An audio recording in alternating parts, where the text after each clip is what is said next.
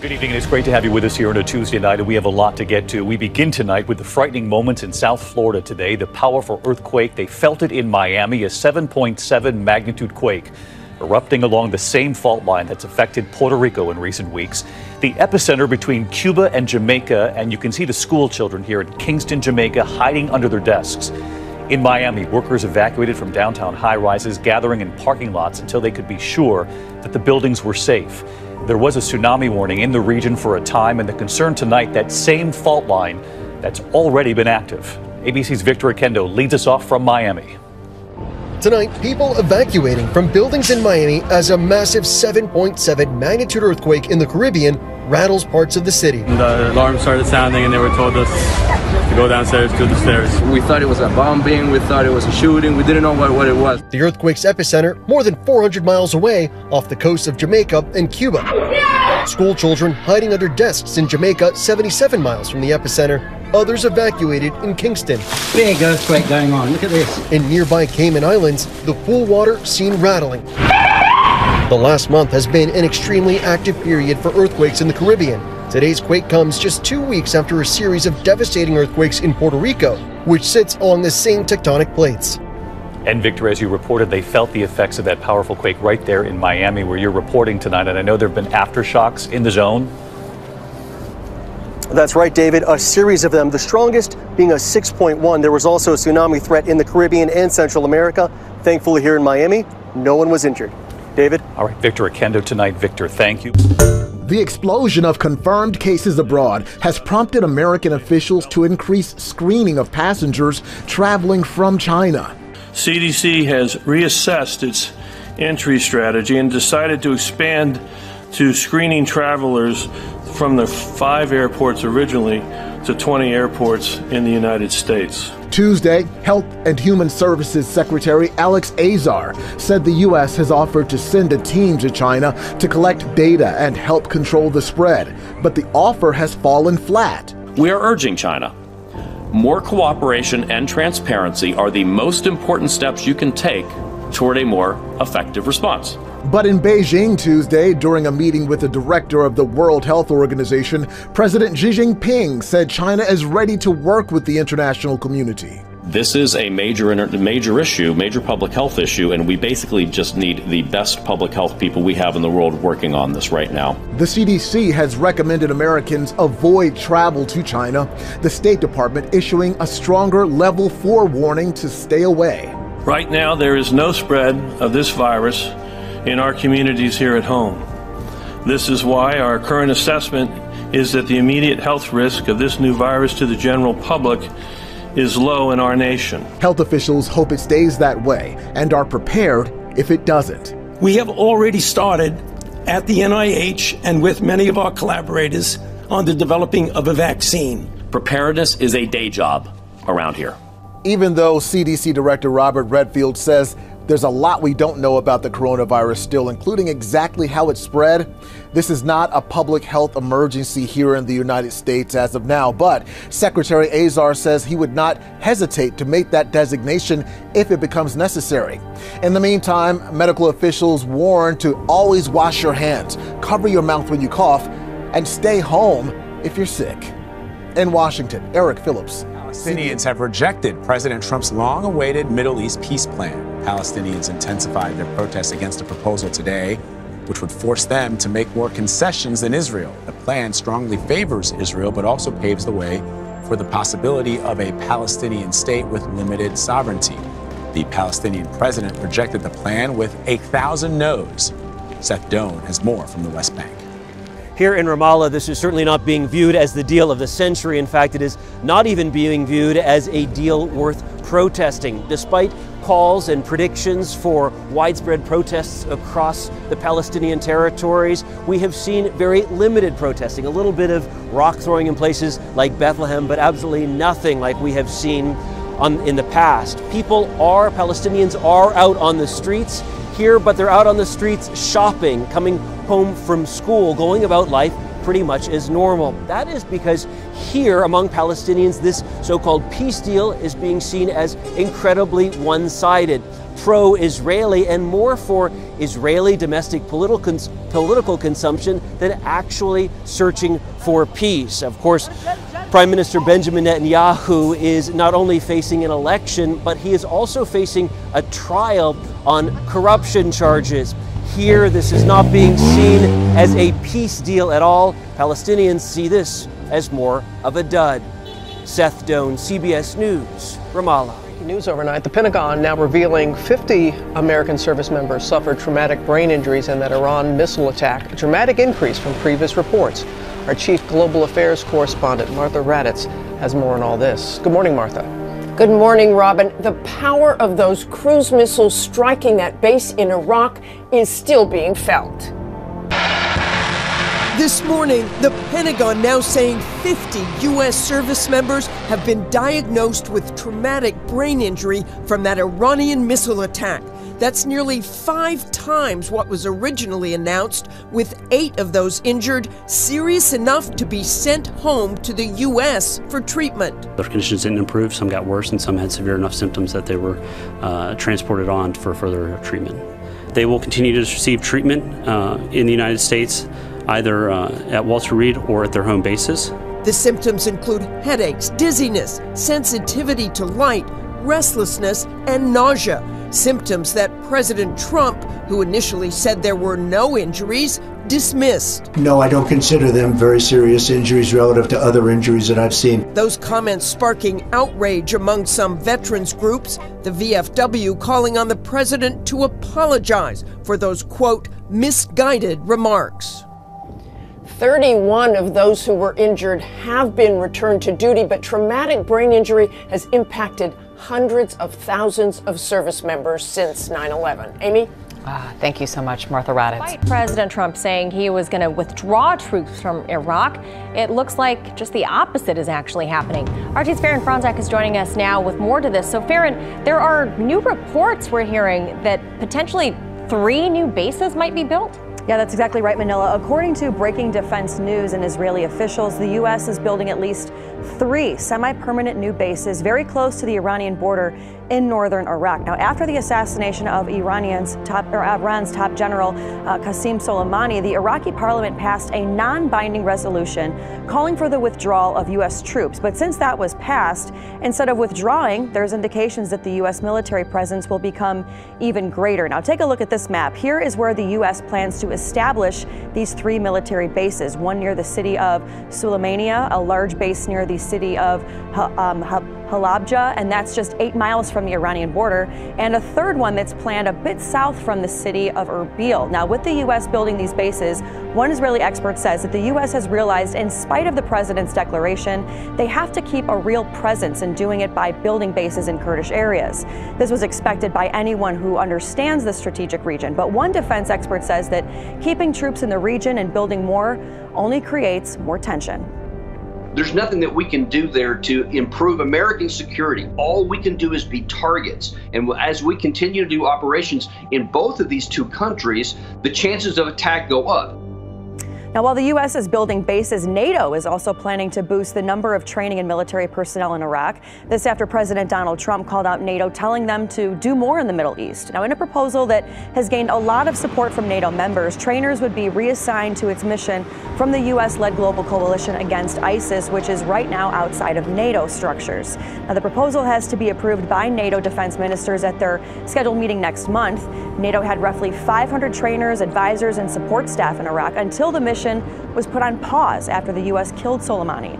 Now, NATO officials couldn't give exact numbers on how many service members could be joining this new mission, but allies say any changes to this NATO mission should be agreed on with the Iraqi government, Manila. But now, Faran, when it comes to Iraq's anti government protests, they are continuing. And the Shia leader who was once in support of these protests I guess now he's gone the other way and he's mm-hmm. against them. What more can you tell us about that? Well, Manila, overnight we know at least two protesters were killed after unknown gunmen and pickup trucks shot at them. Those deaths now bring the total number of deaths from the ongoing clashes to 12. Now, since uh, Friday clashes between protesters and security forces in Tahrir Square, with tear gas and even live ammo being fired on these protesters and their tents being set on fire, all to try and force them out. But like you mentioned, the influential Shia leader, Muqtada al-Sadr, in the past gave tremendous support to his followers in Baghdad, even called on the Million Man March on Friday, and has been vocal about shutting down all American military bases and posts in Iraq. But now he's withdrawn his support for the movement, saying that he couldn't support the destruction of property. Still, tens of thousands of his supporters crowded a Baghdad neighborhood Friday, calling for Iraq to remove all U.S. and Iranian troops. Now, al Sadr's withdrawal has his supporters packing up their tents and leaving, which anti government protesters say left them open to attacks by security forces on their sit ins. Reporting in Washington, Faran Fronczak, RT. And I have a breaking news report in regards to Israel. Apparently, Palestinians have fired at least one mortar shell at southern Israel on Wednesday night, striking an open field but causing no injuries or damages. The mortar attack triggered sirens all across the region. A spokesperson said that an explosion was heard following the sirens and that an impact site was found in an open field outside the community. In the meantime, Israel has responded and confirmed via social media that its forces conducted several strikes against Hamas targets in the southern Gaza Strip late on Wednesday evening. In a translated statement, the IDF clarified that the attacks carried out by the IDF aircraft and fighter jets came about as a response to the rocket fire and explosion of bombs from the Gaza Strip toward Israeli territory. Also stating that the Hamas terror organization is responsible for what is happening in and out of the Gaza Strip and will have consequences for actions against Israeli citizens. And throughout Wednesday, a number of balloon clusters carrying suspected explosive devices that had been launched from the Gaza Strip landed in southern Israel, continuing a trend of these airborne attacks from the enclave over the past few weeks. Earlier on Wednesday evening, the military announced it was deploying additional troops to the Gaza border in the West Bank amid concerns that the Palestinians may respond violently to the peace plan. The military stated that in accordance with the constant situational assessments being conducted by the IDF, it was decided to reinforce the number of combat troops in Judea and Samaria Division and the Gaza Division. So, definitely a very serious situation, but at the same time, not unexpected due to the peace plan unveiling just yesterday. And Daz? It is a bombshell report that's hardly getting any traction, but it should be. An antivirus program used by hundreds of millions of people around the world is selling highly sensitive web browsing data to many of the world's biggest companies. Every search, every click, every buy, on every site. Now, the report by Vice obtained leaked user data, contracts, and other company documents showing that the sale of this data is both highly sensitive and in many cases it's supposed to remain confidential between the company and the client buying it. And some of those clients are pretty well known the Home Depot, Google, Microsoft and Pepsi. Well, to talk more about this, joining me now, we have investigative journalist Ben Swann. Ben, thanks so much for taking the time yeah. to talk to me today. So, break down again kind of what this report found and what more that you can add. Yeah, so essentially what the report found was that uh, uh, antivirus slash search engine mm-hmm. uh, called Avast was essentially taking user data on, as you said, over 100 million people, compiling all this data and, and doing it down to a granular level to the point where they knew exactly what websites people would browse, how often they're browsing, you know, the, the pattern they would use in which they were browsing. It was compiling data based on those search habits, approximating someone's age and their income. Uh, it was tracking every single thing, including you know, people's activity on porn sites that could actually go down to which video and which searches they were oh looking for. Comp- uh, right, compiling oh all boy. this information, then taking all that information and turning around and selling it to through a, through a separate subsidiary called Jumpshot, and using that to sell it to major corporations, as you mentioned, like Home Depot and Pepsi. And so when they're selling this, essentially what they're doing is saying you can compile these massive uh, lists of consumer habits, what consumers are looking for, what consumers want. The problem is, is that many of the people who have this antivirus software were not opting in, at least not consciously opting in, didn't realize that they were opting into this. So they didn't know that their information and their data was being taken, cataloged, and then sold. Now, this isn't the first time that we've heard something like this. Right. I mean, Facebook was the one, the catalyst that kind of opened up Pandora's box when it comes to this. Yes. But are we in an age now, do you think, Ben, where no matter what, we just have to assume that our data is going to be sold to somebody or our data's out there and people will be able to see it? Yeah, to some extent, I think we do because this is what internet businesses are, right? Mm-hmm. So when an antivirus company comes along and says, we are an antivirus company, they're actually not an antivirus company. Mm-hmm. They're a data collection and then profiteering company. Uh, that's what so many of these companies are. Now, in this case, for instance, the antivirus company was free. So you go online and you say, I want to get software that's free. Anybody who's selling you, in, well, not selling you, but giving you anything for free online mm-hmm. is actually collecting your data. And some places that are charging you are also collecting your data. Mm-hmm. But that is the value of what's online. It's all data collection. So remember, I, I remind people all the time when it comes to online, you are the product. You are the thing that's being bought and sold uh, every time that you, you get online. So you just need to be aware of that when you're online. And, you know, they had, the, the, the company said that much of the data that they were taking, um, that people were remaining anonymous, that, you know, names and stuff like that weren't really mm-hmm. being shown. Which is true. They, yeah, but they said they were looking more at the numbers. But is that really believable? I mean, what what is the bigger danger here? Well, too? the the reality is, as an individual, so that they are correct when they say, you know, it wouldn't have your name beside it. However, anybody really who was really digging into this data could track the IP address and then ultimately match that IP address with a user. So it's not never a you know you're completely anonymous. We're just looking at your habits. That's not accurate. Mm-hmm. Uh, you can get deeper into it than that. On the other hand, no, it's not a you know Farron was doing this at this time. Mm-hmm. Uh, it's it's not going to be that obvious and that clear. But I think the bigger question is when we look at internet is how much are we being manipulated by these Fortune 500 companies that are buying this data. Essentially, they're trying to buy the data for what purpose? What is the value to them? Well, the value to them is to say, we want to know how people react, how people behave. And, and so a lot of it starts to become, at a certain point, social engineering, where mm-hmm. everything you're seeing online isn't authentic or organic, it's being contrived based upon what data says people are doing. And therefore, it becomes almost a self feeding loop. But playing devil's advocate here, isn't that the purpose of business? Is they want to, you know, help their customers and bring, you know, what the customers want to them? Yeah. Isn't this kind of helping that? So, so the positive of it would be yes, mm-hmm. uh, a company could come along and say, look, we're just trying to be the best that we can be and give people what they want. Great. If you do that, then let the customer know that that's what you're doing. When you're shopping or you're browsing online or you're whatever you're doing, you should have the the right to, the authority to opt in or opt out. And what's instead happening is it's like a company says, I want to know what your habits are, so I'm peeking through your window and I'm watching everything you do inside your house, and you don't know I'm there. I'm just monitoring you because I really want to help you. Well, I think I'd turn around and say, I'm going to close the window and I don't need that help that bad. And yeah. that's what it comes down to opt in or opt out. Yep, all about transparency. Ben Swann, thanks so much. We'll see you on Boom Bust later today. Fair, thanks. thanks. Justice is taking groundbreaking action to crack down on hundreds of millions of scam robocalls. We hate those things. It's filing for temporary restraining orders against U.S. telecom carriers allegedly facilitating those fraudulent calls. Now, most of them originate in India, and older Americans are losing millions of dollars a year. Today, the Senate will hold a hearing to look into what it called the number one scam in America Social Security fraud.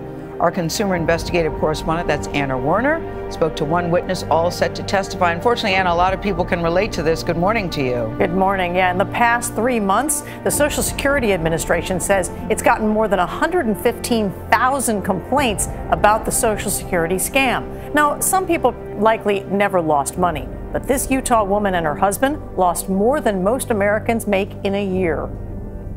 It truly is embarrassing. I'm embarrassed. I'm really embarrassed. Michelle Anderson and her husband Kyle, a Utah state representative, say they know many people won't be able to believe they became victims of the Social Security scam. But they say the fact they did means others need a warning maybe it happened to us so that we could help others. The scam started in December when Michelle says she got calls like this one. Your social has been found some suspicious for committing fraudulent activities. Claiming her social security number had been compromised and had been used to set up multiple bank accounts associated with a drug cartel. She says a man claiming to be a DEA investigator then said her family was in danger. He continued to talk to me about the danger that my family was in if I didn't cooperate, that these people were very um, dangerous, that they were watching me, that I needed to do what I was told. And so, not tell anybody, right? And not tell anyone. Not only that, she says he told her she needed to transfer all the money in the family's bank accounts to an offshore account that would be safe before the fraudulent accounts were seized or she would lose all of their money. To prove it, he sent her this what he said was a warrant for her arrest for drug trafficking and money laundering that would be used if she didn't show full cooperation. So I drove to the credit union and I transferred uh, all of our money into our checking account. We had CDs. I, I cashed them in. I paid the penalties. All told, after a week's time, she wired $150,000 to the crooks. It was only after the scammer asked her to take out a mortgage on their home that the light finally dawned, and she told her husband something awful had happened. And she said, I have, I have given away every penny that we have. Uh, I felt like throwing up. You know, I just, I mean, I just felt this, this gut punch and uh, I felt sick. I was asked by someone, How could you be so stupid? That at the time that I was going through it, it was very real. As our population ages, that the matter's only going to get worse. Seniors have lost nearly $38 million to the scam, says Senator Susan Collins. Oftentimes, our seniors are embarrassed when they realize that they've been ripped off, and they're too ashamed to admit uh, that they've lost out their life savings to a scammer. They shouldn't be embarrassed. They should report this. The Andersons say they'll survive the dollar loss, but others may not. We don't want anyone else to go through this. A lot of people, since this has happened to us, have gotten those calls and called us and said, I just got a Social Security call. What should I do? And we say, hang up. That is the thing to do. Just hang up. But these scam calls just got even scarier. The FBI put out a warning yesterday saying the crooks are now spoofing the FBI's phone number to run scams. So when they call, it looks like they're calling from the FBI. Then they tell you to buy gift cards, which of course Do the not do. FBI will never Never ask you to do. The Gift FBI is not going to call you, people. Please don't Yeah. fall for this. These First, scams are all kinds of wrong. I mean, Yeah, where they're- They're more than criminal, they're evil. They're I very mean, they're elaborate. just- First, I don't put the Andersons in the senior category. They Yeah, yeah, no. One. I, I'm sorry that she feels so embarrassed because I think in the moment you feel scared. Yeah. You don't Yeah. feel you you have no idea that this is a scam. Well, you feel So- embarrassed in the end that you've been taken. Yeah, but, but, in the it- moment it's you scary. are really scared. So Somebody what can says we they're do? the government, you're scared. You, believe them. You know, these scammers are pros. They Yes, are pros very at good. panicking people and keeping them on the hook. Yeah. This went on for nearly a week. Yeah. And you think, that's not going to happen to me. I'm not going to be that stupid. And- and Guess I- what? It happens. It so what do you do? You reach out. Hang to- up.